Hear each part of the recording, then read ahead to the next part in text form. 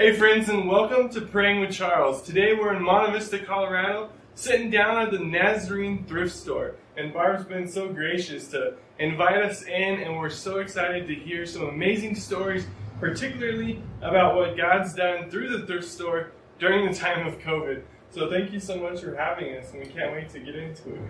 Well, thank you. Um, this ministry's been going for 13 years now. Okay. Um, just in the last four or five months, we've opened up this new section of the store that you're seeing now. And what's really incredible about it is that we're in the middle of a pandemic. Uh-huh. We are having businesses shut down everywhere around us. And God said to me, we need to do something with the things that are your better donations. So we Mhm. call it our finer blessings. Okay. Um, it is higher end things, brand name things. And he said, open it now. Oh, I said, that's weird Really? timing. yeah. really? Uh, we did. We opened the Black Friday after Thanksgiving. Uh-huh. We're already looking at expanding, and we are Praise the beginning of March. It is just taking Praise off God. like no one's business, and uh, only God would say, when everyone else is shutting down, Yeah. do something big. That's so good. And you were telling me more about the staff situation. Of course, we all have friends and acquaintances that lost their jobs and had to just suffer through part of this period. But Yeah. it didn't sound like the staff here had that same story. We were actually out of work, closed down from March 1st till May 1st. And we had enough resources from the store itself to be able to pay everyone their wage while they were gone. So, good. God That's so to bless. And, and talking about our staff, we are a ministry of the Nazarene, Nazarene Church. Mhm. And um, we thought our goal was to minister to the people out in the community, out in the world, through the funds that we raise. But we've really gotten away from hiring just people from our church because a lot of them have jobs already. Gotcha. So we have started hiring people from the community. We have some girls that are not Christian. Uh-huh. We have different religions, denominations here, but we do devotions every morning. Oh, And we spend 15 minutes reading the Bible, praying together, and we're seeing some of the girls now questioning baptism, Oh. wanting to learn more about prayer. And so we're Yeah. saying, you know, it's a ministry inside these walls as That's well neat. as outside of them. Yeah, so it's been really, figured? really good to see and Mhm. encouraging that what we're doing is helping. What we're doing is right. Yeah. And all we have to do is plant those seeds, and God does the rest. And who wouldn't love to work in an environment like that? You know, I've worked in some crummy places, and that just sounds amazing. Uh, Well, when you get 20 women together, you really think you're going to have a, hostile environment, but I'll it's leave that one alone. but, it's, but it's 20 women that love each other and encourage each other and pray for each other. Wow. And I'm not saying we don't have our moments, but we pray our way through them. Yeah. So it, Yeah. it's a nice way to work. And I've heard uh, over the years some of the stuff this ministry has done. It sounds like you guys go internationally and you guys Oh, yes. tackle big challenges. Uh, tell us about one of those things that you've tackled and how you had to pray about it and what God did through that. Well, most of the international stuff was when Deborah was still working here and running the store. Um, we've bought a boat, a bus. We've done the uh, Jesus film. We, we still give to the Jesus film about Okay. $2,500 a year to that. Wow. Um, but we've gotten more inside the United States and then a lot more community minded here. Okay. We're doing a lot more of people within our town, our valley, Right. that we just want them to know our church supports you, our store Amen. supports you, and if there's something you need, come and see us. And they don't come directly to us. We send them to the church. The pastor visits with them. Uh, He shares the word of God with them, yeah. and then we help them financially after that. How. So it's Yeah. good. I love that give and take because obviously people drop stuff off, and then to see that you're actually reaching your own community by your donations, it's gotta Right. feel good for people. Well, it's, it used to be a hundred percent donation. Right now, we are actually selling some food products in here that are gourmet type foods. Um, we partnered with a business in Alamosa just so we could stay open during the pandemic. We Oh, worked it out with the uh, Department of Health so we could be an essential business and we wouldn't shut down then again. Yeah, amen. Essential you are. man. I, Well, yeah. God provides every direction.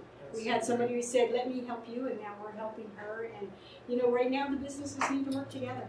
That's right. Just That's right. Yeah. to keep us all going.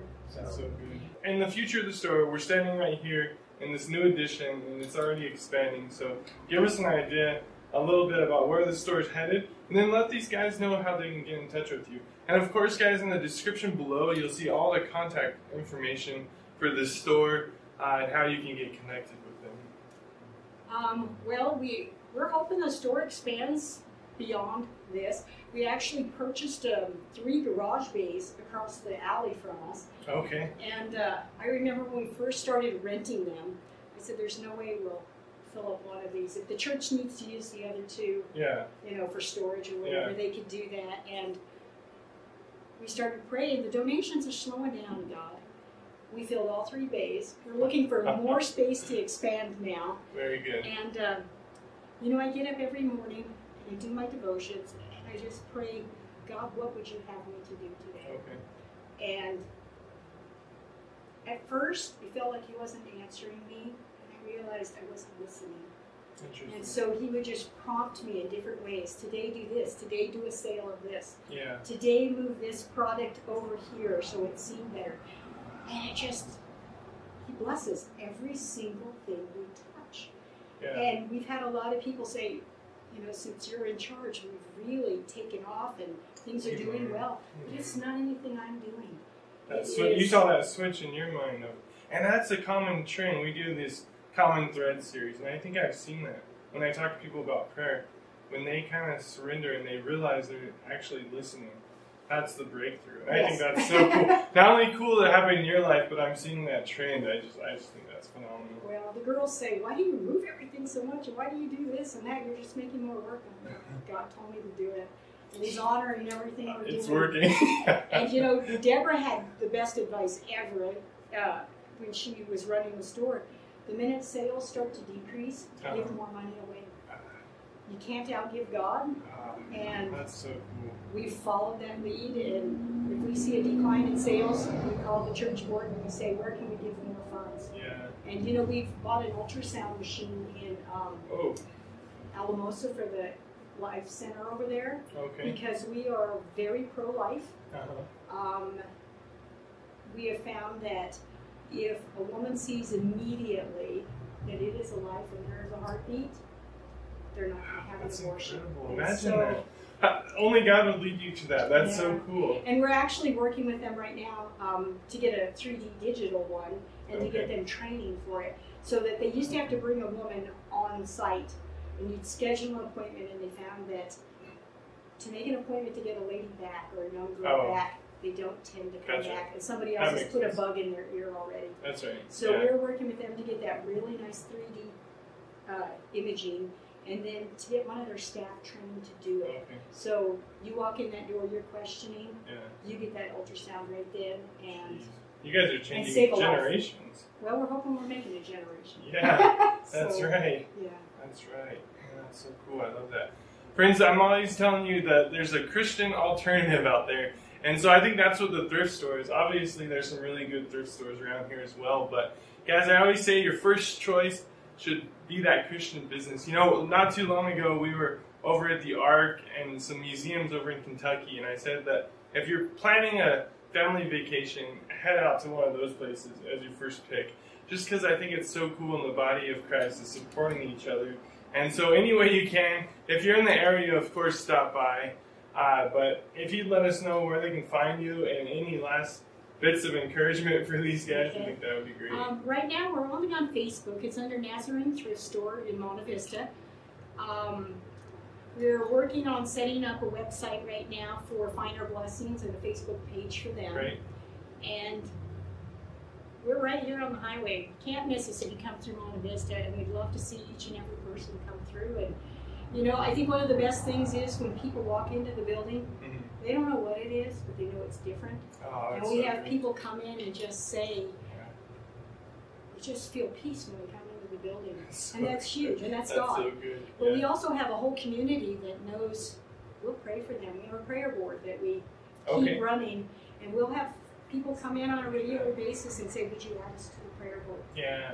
And, and then we cool go do a follow up with them as well Oh, to no make way. sure things are better, things are good, and what else can we do to help? So it's been nice, and we've we've gotten to know some people in the, in the valley that really needed help, and we were able to put out a hand and help them. So, Right. And we actually give merchandise away also to a lot of people who have been in a fire, they've lost Oh, everything. Gosh, They just come and tell us what they need. We give um, gift certificates to social services. Every foster child that goes through Rio Grande County Mhm. gets a gift certificate that goes with them because sometimes they show up in the That's middle of the night and they That's have really nothing good. but the clothes on their back. That's right. Yeah, I was a social worker, so I've been in that world, and to hear that, that's just incredible. so I love we that. just try No to- strings attached. They just, No, that's just so come in good. and and sometimes they spend beyond what the gift certificate is, and we honor that because Yeah. they just need help. They Yeah. need a fresh start, and they need to know. We were doing uh, babies that came were born at the hospital, and one day God prompted me and said, "Not all babies come from the hospital. Mm, Some of these kids are coming from foster families and stuff." So we jumped on it, and we gave them an initial eleven hundred dollars worth of gift certificates, and we did another batch. Mhm. And I think we're about ready to do another batch for them. That's- It's been a really good service. Yeah, undoubtedly. Guys, for, God just put on my heart, if you have an opportunity, check them out on Facebook and see if God's not calling you to actually give financially uh, to this ministry. I'm here, boots on the ground. I can feel it, I see it. Just like what you're saying, when you come in, there's a taste of the Holy Spirit. And I hope it comes through the camera, but friends, uh, just hang with Praying with Charles. This is what we do. We're out filming prayer, travel, and adventure, taking you with us as we travel to the ends of the earth to witness the power of prayer firsthand. And that's exactly what we did today, hearing all these amazing stories. Personally, I'm going to have to go back and watch it again and hear back some of these awesome testimonies. But thank you so much for having us, and we're just praying blessings over this business. Thank you. Yeah. We'll see you guys in the next video.